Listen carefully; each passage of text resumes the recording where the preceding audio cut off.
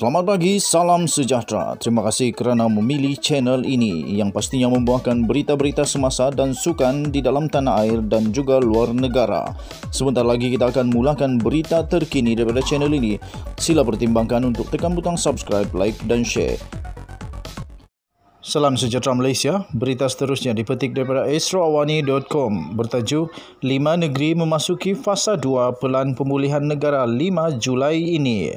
5 negeri akan beralih ke fasa 2 pelan pemulihan negara PPN berkuat kuasa 5 Julai depan demikian kata daripada Menteri Kanan Pertahanan Datuk Seri Ismail Sabri Yaakob.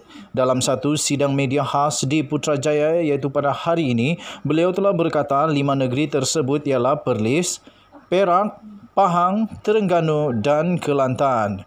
Jelasnya lagi, Peralihan kelima-lima negeri itu ke fasa seterusnya adalah kerana negeri-negeri terbabit telah berjaya untuk mencapai tiga indikator nilai ambang yang ditentukan iaitu kes harian COVID-19 di bawah 4,000, peningkatan kapasiti unit rawatan rapi ICU serta liputan vaksinasi dua dos meliputi 10% daripada keseluruhan populasi.